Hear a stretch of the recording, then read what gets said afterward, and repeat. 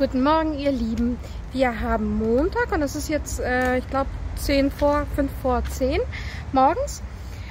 Und ich war die letzte Woche ein bisschen filmfaul. Ich habe nicht wirklich ähm, viel gefilmt, aber es ist auch nicht wirklich viel Spannendes passiert. Deswegen ja, habe ich die Kamera jetzt nicht wirklich viel ausgepackt. Und diese Woche dachte ich, ähm, nehme ich die Kamera mal wieder ein bisschen öfter mit, denn wir haben so ein paar ähm, eventuell spannende Dinge diese Woche vor. Und ich bin jetzt hier gerade in dem kleinen Waldstück, das zu dem Krankenhaus gehört, in dem ich entbunden habe. Denn heute geht die Krabbelgruppe los. Und ich bin jetzt ein bisschen früher losgegangen, weil der kleine Mann, na jetzt wacht er langsam auf, der ist äh, vor einer halben Stunde eingeschlafen. Und ich dachte, gehst du schon mal los, dann kannst du mit ihm noch eine kleine Runde gehen, dass er in Ruhe schlafen kann. Also wir machen eine Krabbelgruppe nach Delphi, nennt sich das keine Ahnung. Das Einzige, was ich weiß, ist, dass die Babys da nackt sind. In einem beheizten Raum oder in einem gut beheizten Raum. Und wir irgendwas mit denen machen. Ich guck mal, wie die äh, Hebamme ist, die Kursleiterin. Ob ich ein bisschen filmen kann, das wäre natürlich schön. Und dann würde ich euch das zeigen, wie so die erste Krabbelgruppenstunde für ihn aussieht. Oh, guck mal, da kommen Enten. Seht ihr das? Hallo. Hallo, kleine Ente. Kannst du Hallo sagen? Ich habe aber nichts für dich zum Füttern. Nee. Guck mal, wie nah die rankommt. Hier in diesem Waldstück, ich zeige euch das mal. So sieht das Ganze aus. In diesem Waldstück sind wir damals auch spazieren gegangen, als die Wehen waren. Da sind wir immer wieder mit dem, jetzt kommen die alle, mit dem Hund und meiner Schwiegermama spazieren gegangen. Hey, ich habe aber nichts für euch. Ist das eine Entenarmee hier? so, wir gehen mal ein Stück weiter, damit der Kleine noch so ein bisschen frische Luft hier kriegt. Ähm, genau, deswegen gehen wir jetzt gleich zur Krabbelgruppe. Ich bin ein bisschen zu früh dran, deswegen gehe ich hier in diesem Waldstück noch mal ein bisschen spazieren. Einfach weil es ist so schönes Wetter und man muss sich jetzt ja nicht schon in die in den Kursraum begeben. Ich weiß nicht, da kann man bestimmt schon wieder hin oder schon rein. Aber man kann ja auch draußen noch ein bisschen Zeit verbringen so lange. Ansonsten wollten wir die Woche zum ADAC fahren, denn wir überlegen, ob wir nächste Woche spontan in Urlaub fahren. Und zwar würden wir gerne mal, das haben wir noch nie gemacht, mit einem Camper los, also mit so einem Campingwagen. Und dafür wollten wir uns die mal angucken. Beim ADAC kann man die mieten, haben wir schon gesehen. Bei uns in der Nähe ist auch eine Station. Und da wollten wir uns so einen Camper mal angucken. Und dann überlegen wir, ob wir nach Schweden mit dem Camper fahren für zehn Tage. Und ich werde hier von den Enten verfolgt. Seht ihr das? Angriff der Enten. ähm, ich habe aber nichts zum Füttern. Ich wette, hier kommen ganz oft Menschen, die die füttern. Und daher sind die so handzahm und sind es gewohnt, dass sie hier was zu essen abbekommen. Ich werde ein bisschen nervös, wenn die Enten mich hier so umzingeln. ah.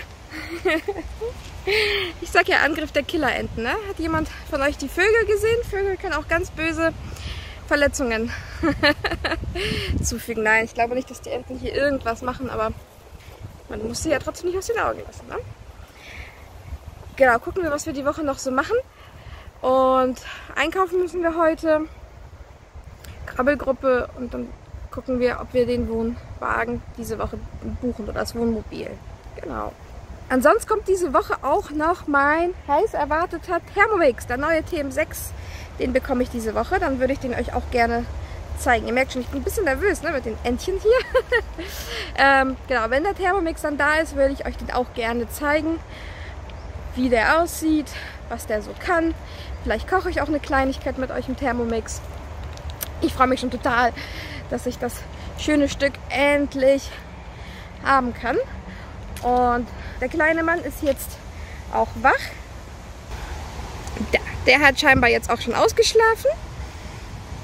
Von daher denke ich, dass wir schon ruhig in den Kursraum gehen können. Und zwar ist da auch das Krankenhaus. Seht ihr das? Das ist direkt hier in diesem Waldstück dran angelegen. Aber da ganz hinten, hinter den Bäumen, das sieht man jetzt nicht, da ist die Entbindungsstation. Das ist ein eigenes Gebäude und da ist auch die Elternschule von dem Krankenhaus und da gehen wir jetzt erstmal hin. Verfolgt von den Enten.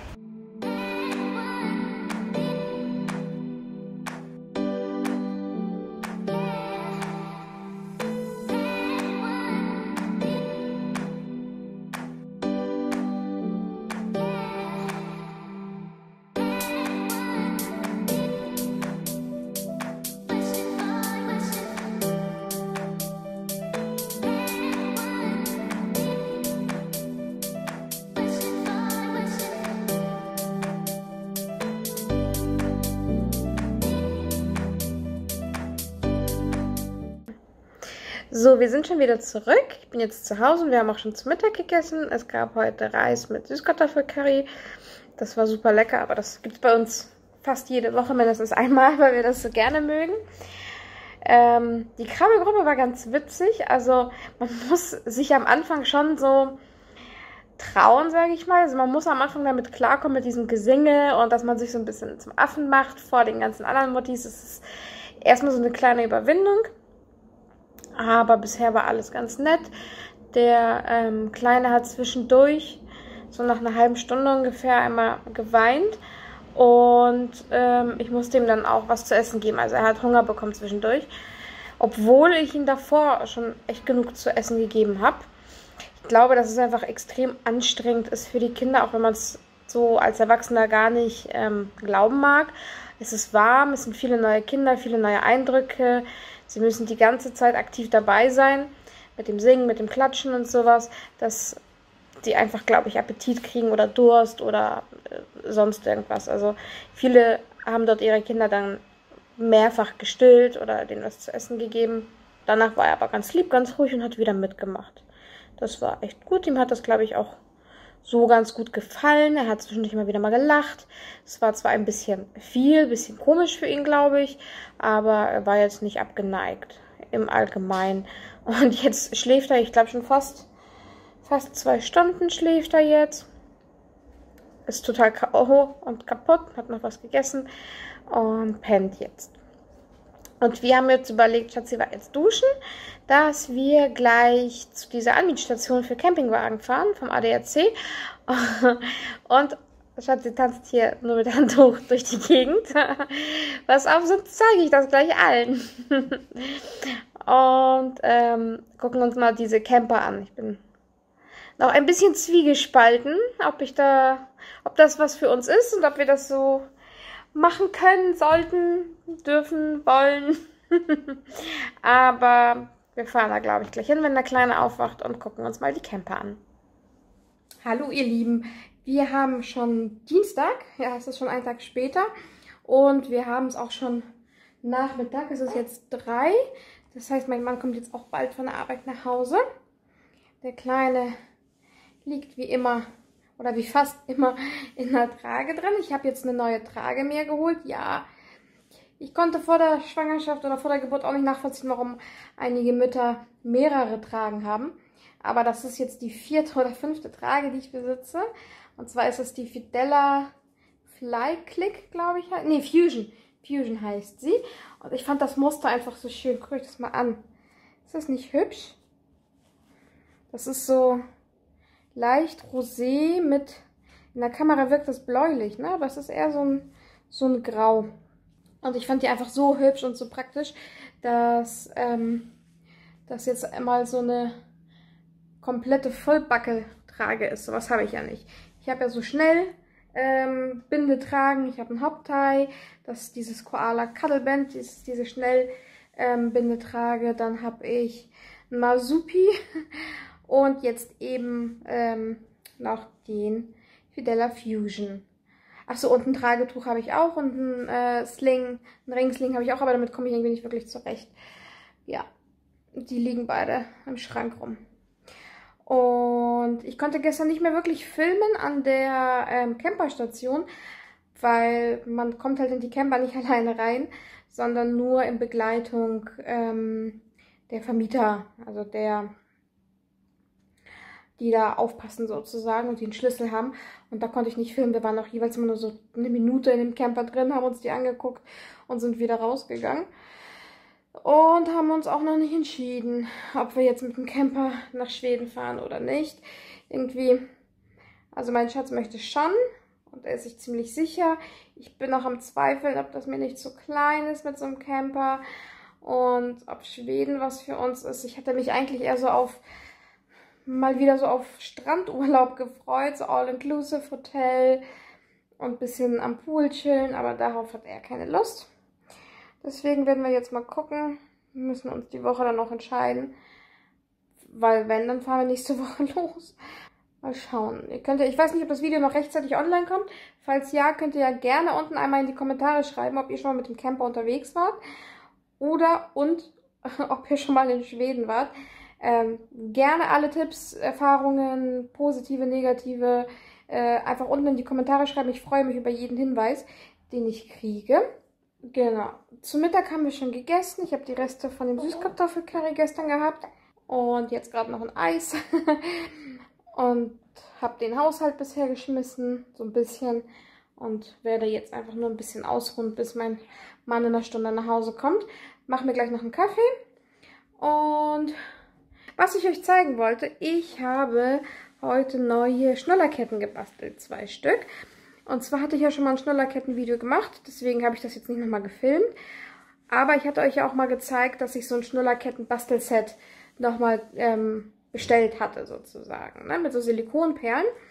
Und da die Schnullerkette von, äh, von ihm so ein bisschen anfängt drunter zu leihen, also die Schrift löst sich so langsam ab und die sieht bald nicht mehr schön aus, habe ich jetzt zwei ganz einfache Schnullerketten gemacht, einfach damit ich die andere als Erinnerungsstück schon mal weglegen kann. Ne? Weil ich habe die ja mit dem Namen gemacht, eigentlich damit ich sie ihm auch irgendwann einfach schenken kann oder für mich als Erinnerung. Die ist ja so hübsch und süß geworden und ich will nicht, dass sie weiter kaputt geht. Deswegen habe ich jetzt zwei einfache Schnullerketten gemacht. Die zeige ich euch einmal kurz. Und das sind einmal die Schnullerketten. Das hier oben, das ist ja seine eigentliche Schnullerkette. Und wie ihr sehen könnt, löst sich dieses kleine Prinz schon langsam ab. Und das wäre nicht so schön, wenn die komplett kaputt geht. Deswegen habe ich zwei neue gemacht. Die sind aus Silikonperlen mit zwei verschiedenen Haltern. Und das ist ja das Set dazu. Das habe ich euch schon mal gezeigt. Das kann ich euch gerne nochmal in der Infobox verlinken. Da ist nämlich sogar noch ein Halter drin. Also da würde ich sogar noch eine dritte Schnullerkette draus kriegen. Oder man hätte eben mit diesem weißen Halter, den ihr da seht, die mittlere Schnullerkette, davon sind ja zwei, hätte man auch eine Kinderwagenkette dazu basteln können. Aber die haben wir jetzt nicht unbedingt gebraucht. Deswegen habe ich hier zwei einfache Schnullerketten zusätzlich gemacht. Und die kommt dann jetzt in so eine Erinnerungsbox. Da habe ich auch schon eine Perle verloren. Seht ihr das? Und der Fox hat nur noch ein Bein. Und seht ihr, wobei hier in dem Licht sieht das gar nicht mehr so schlimm aus, ne? Aber wenn ich mich so rumdrehe, tada, was das hier für riesen Augenringe sind. Ja, Äh, die Nacht war gar nicht so schlimm, aber auch nicht so perfekt. Also der Kleine schläft im Moment im Beistellbettchen oder wir legen ihn ins Beistellbettchen, aber er robbt sich nach ein, zwei Stunden aus dem Beistellbettchen in unser Bett zu mir ran. Ich weiß auch nicht, wie er das macht, weil er sich ja noch gar nicht dreht. Er robbt sich einfach wie so ein Würmchen, zack, zack, zack, einmal über beide Matratzen drüber oder über diesen kleinen Spalt. Und dann liegt er an mir dran. Und dann kann ich nicht mehr so gut schlafen, weil ich immer Angst habe, so eng wie es dann da ist, dass ich mich irgendwie auf ihn drauflege oder sowas. Ja, deswegen die Augenringe. Aber, schpp, Zauberei, sie sind weg. Fast. Ah, jetzt wackelt das Ganze. Na, also so, wenn ich jetzt Fotos machen müsste, ungeschminkt, dann nur in diesen Lichtverhältnissen. Er ist da. Tada! Ist ja nicht schön? Ist ja nicht so hübsch. Und jetzt kann man beim Themen 6, zack, und man ist im Cookie Doo direkt drinne. Und dann kann man hier auch direkt im Cookie Doo ein bisschen stöbern. Ist das nicht schön? Der macht sich doch ganz toll hier auf der Arbeitsplatte, oder? Hübsches Gerät. Und ich bin so happy. Meine Teamleiterin hat mir den heute gebracht. Und ich habe den jetzt hier stehen. Ich habe mich hier schon bei Cookie eingeloggt, registriert. Und ich war jetzt eben einkaufen mit dem kleinen Schatz. Und jetzt machen wir erstmal eine Gemüsepaste, denke ich. Ich werde den jetzt auf Herz und Nieren einmal testen müssen. Ah, ich freue mich so, dass er hier steht. Hm. So, ich habe jetzt hier das Gemüse geschnitten für die Gemüsepaste. Und zwar habe ich hier eine große Zucchini mit fünf Möhren, eine Zwiebel, zwei Knoblauchzehen. Ich habe jetzt mal eine mehr gemacht, als auf dem Rezept steht, weil wir lieben Knoblauch.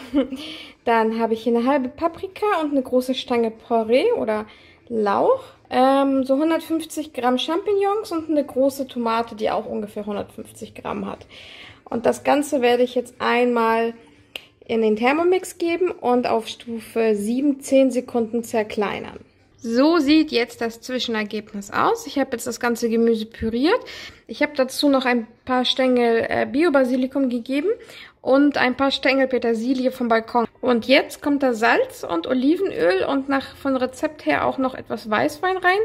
Ich glaube, den werde ich nicht unbedingt reinmachen, damit ich auch ähm, alkoholfrei kochen kann mit der Paste. Und dann muss das Ganze gekocht werden. Und dann kochen wir das Ganze 40 Minuten, Varoma Stufe 3, mit dem Spritzschutz anstelle des Deckels.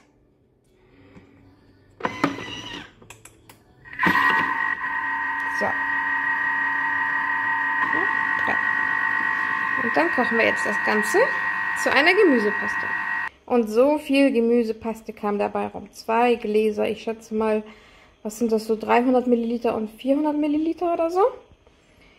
Und ich habe die jetzt ausgekocht und auf den Kopf gestellt, damit die auch ein bisschen länger haltbar sind. Da liegen sie, meine beiden Jungs. Ist das nicht süß, wie, wie Komet sich versucht, an ihn ranzurobben und ranzulegen? Er wurde gerade die ganze Zeit von Marius ein bisschen getreten, aber es hat ihn nicht so sehr gestört.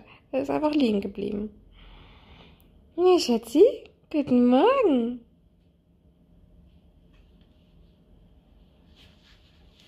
Genau so. Und ich meine, wenn es Komet stören würde, dann würde er einfach weggehen. Er hat hier genug Platz. Er ist nicht gezwungen, mit ihm auf der Decke zu liegen. Der hat da hinten eine fette Deckenecke. Der kann sich da zusammenknautschen. Also Platz ist hier auch genug für einen Hund. Nicht, dass jetzt jemand den Tierschutz anrufen will.